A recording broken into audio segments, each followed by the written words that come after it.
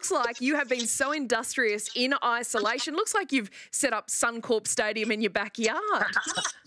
yeah, no, I did a bit of a home job. Me and my brother Zach, we um put the footy post back up the other day. We um we used to put them up every winter here when we were younger as kids and play backyard footy every every afternoon, get the neighbourhood around. Um, and we we didn't we were always taken down for the uh, summer playing cricket in the backyard. So uh, one summer, uh, one winter come around, we never put the post back up. So uh, I asked Dad the other day if we still had them around the back of the shed, and uh, yeah, they were still there. And so we, we changed a couple star picket posts in and put the PVC pipes over the top of them, and um, yeah, we got the posts. Well, take us for a bit of a tour. I mean, for those Yeah. at home, it- Oh, how good. yeah, it's spectacular. It honestly looks better than Brookie. Yeah, so we got got the corner post in as well, and Dad he po- he painted the uh, the black dot on the crossbar as well when we were younger. So they're uh, the crossbar is actually regulation size. The posts are a bit. uh, Mate, who you got The playing with you? Who's, who's out the yard there? I got Josh there. Um, our other brother Zach, they're twins, Josh and Zach, and then I got my dad as well. Oh, Dad's there too. How, how does he go? Is there restrictions on how hard you can hit Dad? Nah, nah. He's got the yellow shirt on. the rock wins- How does he go?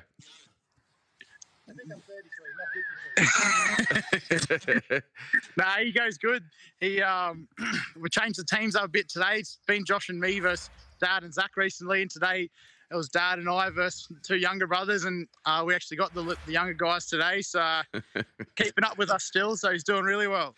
Mate, have you had much conversation, um, you know, with the Broncos in terms of you know how they're keeping you guys connected? And, and I mean, f- for the club and the publicity with what we're seeing, a, a lot has been about the relocation of the Queensland sides. Your coach Anthony Seibold said he was happy to to move you guys down and find um, find a you know a, a bunker down here in Sydney to, to get the competition started. Then we get Darius Boyd that says, you know, no way in hell does he want to you know leave his family for a long period of time. So.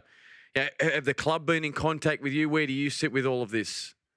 Yeah, we've been um, spoken to as a playing group, and uh, we've been informed as everyone else about the the May 28th start date. So uh, that's what we're we're really excited about. We're really looking forward to having footy back, and uh, I think we'll be looking to be training again in the start of May. So uh, up till then, we've just been given a few little programs here and there to um, just keep that fitness up to some uh, standards so that when we come back, we're not just all dragging on the dragging on the ground. Brady, you're just starting to fit in there up at the Brisbane Broncos. Started the first couple of games, the combinations. Now you've got to start all over again. Uh, I wouldn't say we have to start all over again. We had a really good preseason, as I guess every other team did. You don't verse anyone in preseason, but uh, yeah, we formed a lot of the, the, the combinations in that preseason, I guess, and um, yeah, the mateships grew as well, and we've been keeping in contact with each other, getting the Zoom uh, meetings together, uh, uh, and that's that's been keeping us in touch with each other. So um, yeah, it'll be all systems go when we come back, and uh, yeah, hopefully, I don't think we would have lost too much in this time. Um, yeah, we're just all looking forward to getting back playing footy together. Mate, get us a little bit of an insight on the, the different ways that Brisbane and also the Melbourne Storm uh, prepare for games or prepare the way that they're going to play. Uh, they're not too dissimilar, I guess. Uh, the Melbourne, like everyone knows, the Melbourne Storm, how structured and clinical they are with everything they do. Um, and uh, Anthony Seibold, he does come from um, the Storm background as well, so he's got a bit of that in him. Uh, but then I also like a little of. Um, like he puts his own little touch on things as well, and um, yeah, I just really love the environment the Broncos. Uh, so yeah, it's not it's not too dissimilar, um, but yeah, I'm, I'm certainly enjoying it. That's for sure. Brodie, why why Brisbane? I mean, we, we saw last year, you know, you had a really successful period there. Um, you know, for I think it was about uh, up until round 21 where you missed the back end of the season, albeit that round 25 game, I think it was, when un- unable to play the final series. But you still had time to go there at Melbourne. No, no doubt that you know, it was publicised that they had their salary cap issues. But why Brisbane?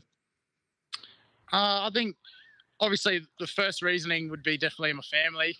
They're um, like mum and dad. This place here where I've grown up is only an hour forty from from Brisbane. So like I've had a few chances already when the season was still going in pre-season where I'll just drive here for a, a day trip, catch up with mum and dad and the brothers and family, grandparents as well. Um, so yeah, that was definitely probably the major major reasoning. Um, but then also the opportunity to play at the Brisbane Broncos is such a prestigious club, uh, such rich history, and uh, with the potential of where they're going, um, yeah, it really excites me to be a part of part of their playing squad. Well, you're not just part of the playing squad, Brodie. You're the, you represent this new generation of this very mighty and proud Brisbane Broncos, named as a co-captain. I mean, it's a lot of leadership uh, responsibility that falls on your young shoulders. But I can imagine that you know at some point this is a, this is a wonderful opportunity for you, and it's probably come early and earlier than you'd you'd hoped in your career. But but a, but a wonderful endorsement of the way you go about your football. Yeah, I was hugely honoured. Uh, well, even when I first got named in just the leadership in the leadership group at the Broncos, um, yeah, to be uh, first of all come to the Broncos was massive, and then when uh, Siebes offered me to uh, have a place in the leadership group, it was hugely humbling. And then, uh, unfortunately, the way things worked out with uh, Lex's uh, hamstring at the start of the year here, yeah, it kind of fell into place for Paddy and myself to to take on that that co-captaincy for the first couple games, and I really enjoyed it. Uh, it's certainly a lot more.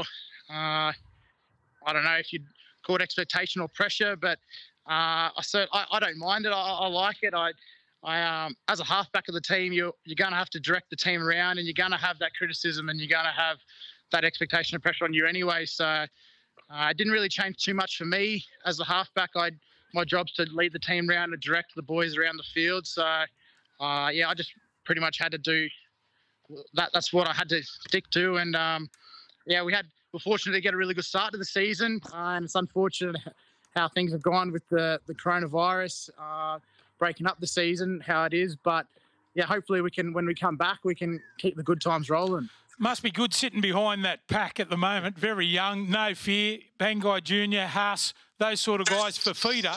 Just sitting back watching those guys do their business. Must be pretty Oh, good for you. Yeah, they certainly make my job a lot easier. That's you're looking for as a halfback. You want your forward back going forward, and uh, when you see those guys charging up the middle of the field, getting those quick play the balls, uh, yeah, I just need to make sure I take my opportunities when I can and back myself there off the back of them, um, and just create the opportunities that I can for them because, uh, yeah, as he said, they're very dangerous runners, and uh, yeah, they can uh, surprise. They've surprised me at training and just how freaky they are, both on the field and in the gym. Uh, yeah, they're freak athletes. Um, yeah, I'm just uh, doing everything I can to um, just jump on the back of them, really. It's a famous number seven that you wear. What about Alfie Langer? What have you learnt off him being around uh, Red Hill, and uh, how much of a joy is he, and a, a cheeky joy at that to have around? Yeah, I love I love hanging around Alfie. He's always there at training, one of the first ones there, and um, I just love uh, buying into uh, everything he knows about the history of the Broncos. That's the biggest thing I've been asking him questions about.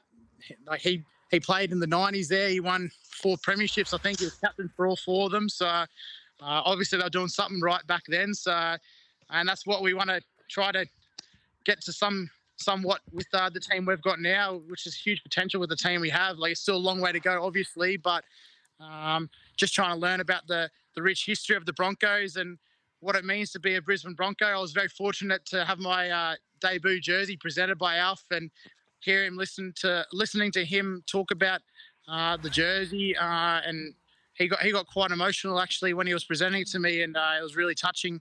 So uh, yeah, I've had a lot of lot of great chats with Alf and I yeah, love hanging around with him.